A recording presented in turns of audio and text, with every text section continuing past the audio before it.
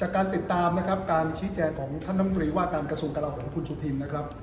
คุณสุทินก็บอกชัดเจนว่าได้สั่งการไปแล้ว แต่งงท่านบอกว่างงใช่ไหมว่ายังจะไปหักได้ยังไงคืออย่างนี้ครับแล้วก่อนอื่นเนี่ยก็ต้องเรียกว่าชื่นชมก่อนว่าการจัดการกับปัญหาเนี้ยนะครับ ของกองทัพบกเนี่ยเกิดขึ้นอย่างรวดเร็วอย่างมากนะครับ แต่ถ้าเราไปลงโทษเป็นคนเป็นค่าย ผมเชื่อว่า เดี๋ยวจะเกิดกรณีแบบนี้เกิดขึ้นอีกนับครั้งไม่ถ้วน เพราะว่าระเบียบในการหักค่าใช้จ่ายนะครับ จากเงินเดือนนะครับ ของพลทหารเนี่ยแต่ละค่ายเนี่ยเข้าใจว่าไม่ได้มีความชัดเจน ถูกไหมครับ ขนาดรัฐมนตรีว่าการกระทรวงกลาโหมยังงงเลยครับว่าสั่งการไปแล้วทำไมไปหักค่าสูบซ่วม ผมก็ต้องย้อนไงจำในสภาที่คุณชุทินพูดได้ไหมว่า เขาไม่ต้องใช้คำว่าสั่งการไงใช้คำว่าขอร้องก็คือคำว่าสั่งการ นี่ขนาดสั่งการเขายังไม่ทำเลย แล้วเมื่อไหร่จะเลิกขอร้อง มันต้องยิ่งกว่าสั่งการแล้วไหมมันต้องกำชับแล้วไหมมันต้องทำระเบียบให้ชัดเจนหรือเปล่าคือถ้าระเบียบในการหักนะฮะค่าใช้จ่ายจากเงินเดือนพลทหารเนี่ยนะฮะไม่ชัดเจนนะครับ แต่ละค่ายจะมีมาตรฐานในการหักที่แตกต่างกัน แล้วอย่าลืมนะครับยุคนี้เป็นยุคโซเชียลมีเดียที่พลทหารที่เป็นเพื่อนกันแต่อยู่คนละค่ายเขาก็สื่อสารกันว่า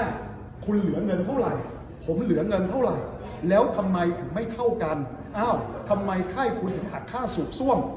อ้าวทำไมค่ายผมไม่หักค่าสูบซ่วม ซึ่งมันต้องขับถ่ายเหมือนกันจริงไหมคือคงตอบไม่ได้หรอกว่าเพราะค่ายนี้ไม่ได้ขับถ่ายก็เลยไม่หัก มันก็เกิดความแปลกประหลาดว่าทำไมค่ายหนึงถึงหักค่ายหนึงถึงไม่หักสุดท้ายพลทหารเหลือเงินไม่เท่ากัน ซึ่งตรงเนี้ยเราโทษพลทหารก็ไม่ได้ จะโทษผบค่ายก็ได้ไม่เต็ม